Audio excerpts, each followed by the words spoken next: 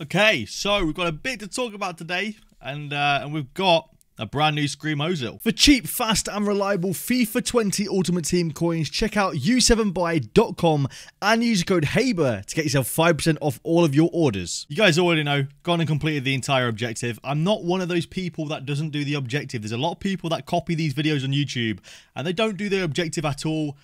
I'm going to always put 110% in to get the objective completed and we've gone ahead and completed the whole objective, which is pretty cool. So let's go one by one. Classic number 10, incredibly easy. Uh, assist 10 goals in online mystery ball matches. Now, one thing you have to be careful with, just make sure you don't count rebounds as your assists. Um, you have to score more than 10 in the game because you're going to score a bunch of rebounds.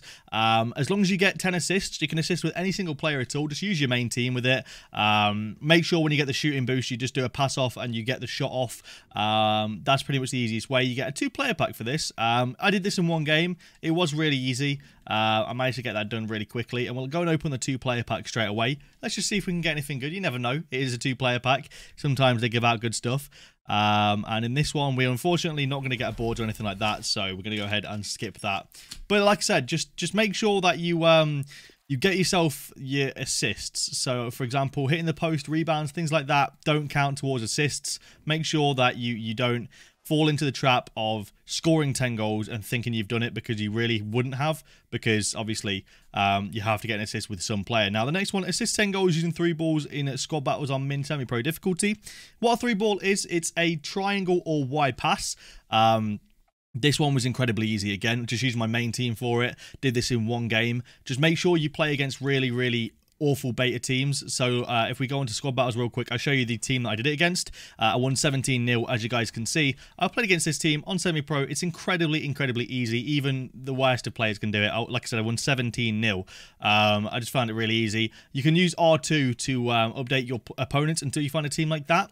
Um, and then just go into it on semi uh, semi-pro difficulty um, and you'll find it really easy to do it. Just just make sure you, you score after you've assisted using triangle or Y. Um, that is what a through ball essentially is. And for this one, we actually get ourselves a small Electrum Players Pack. So I'll go ahead and open up the pack real quick and see if we can get anything good. Now, I like how EA actually gave out packs for these.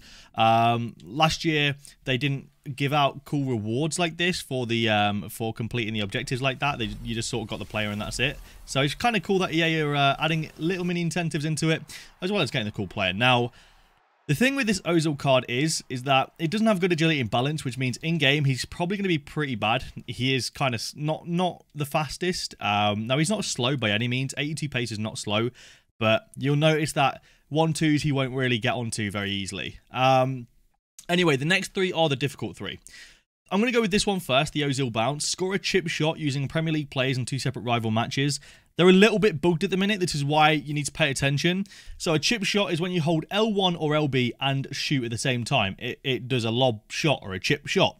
Now, these only count towards actually completing it. If you hold L1 or LB all the way until the ball goes into the net, um, you can shoot from wherever. You can you can shoot into an open net. You can shoot into one where the goalie's coming towards you.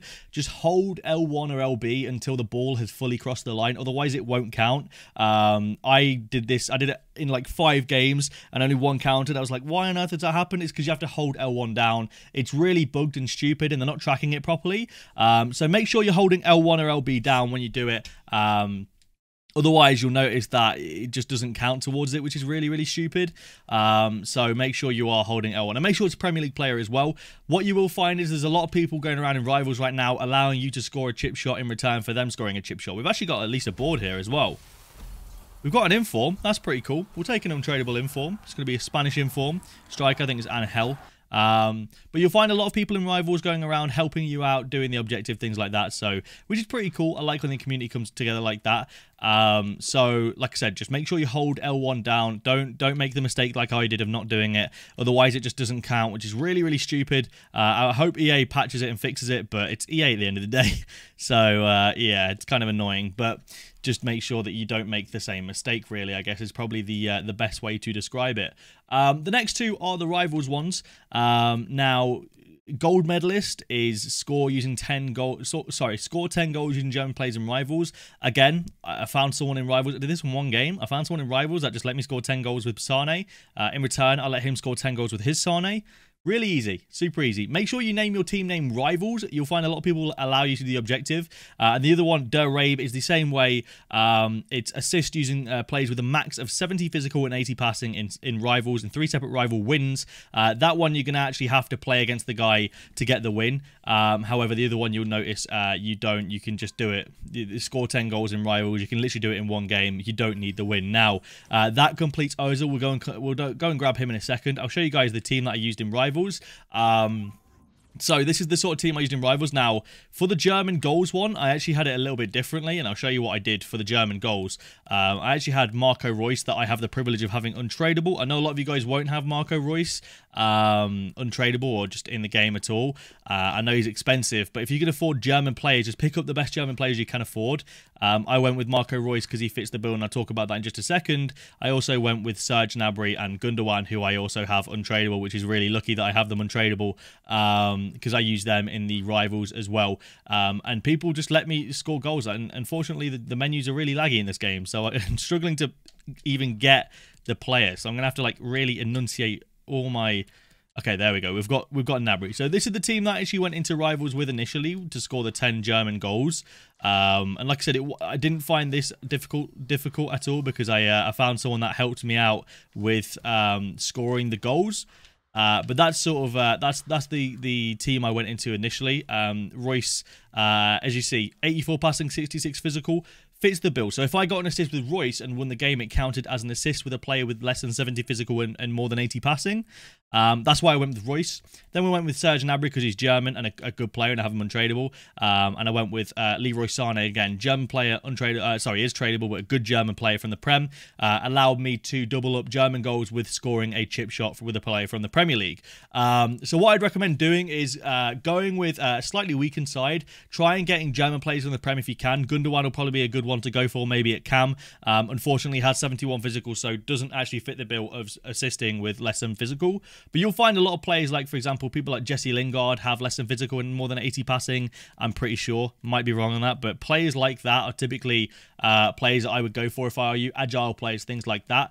Um, I went and bought Leroy Sané for this objective alone. Um, Cost me 200k, and I know a lot of you guys won't have 200k spare to just spend on players, um, but I went and bought Leroy Sané just for this objective to, to help me out with it, basically, um, and I will be selling him after the objective. So if you need to, I guess you could buy players for it, um, but yeah, players like Reus I know obviously a lot of you guys won't be able to afford Reus I'm not telling you to buy him for the objective, but he helped me out a lot when going into it. And of course, um, if you really want to, if you press the start button and you press square or X on, on Xbox, you can actually find your opponent's gamer tag and you can maybe message him and say, hey, will you help me do the objective? I'll help you do the objective. And if they're a nice guy, they might actually help you out. Uh, a lot of people have uh, helped me out in the past from that. So uh, that is a good way of doing it and, and getting help from uh, other people to do it as well. So um, they're sort of tips and tricks for it, really. Um, and that's sort of how you get the uh, the Ozil objective done. Um, obviously, you get a cool a few cool packs for it as well. Unfortunately, we didn't really get. We got an inform, but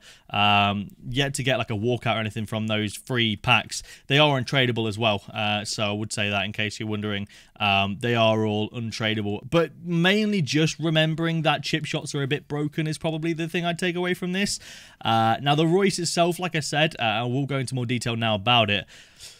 It's, face card stats are really cool. Um, the face card stats of it are really good. Don't get me wrong. Um, it's a cool looking card, face card stats, but in game, I mean, 92 vision and 91 short passing, fantastic. 81 long passing is unfair in my opinion for Ozil, but yeah, it's not really a flashback. It's more of a just a, a card based on his current stats, I guess.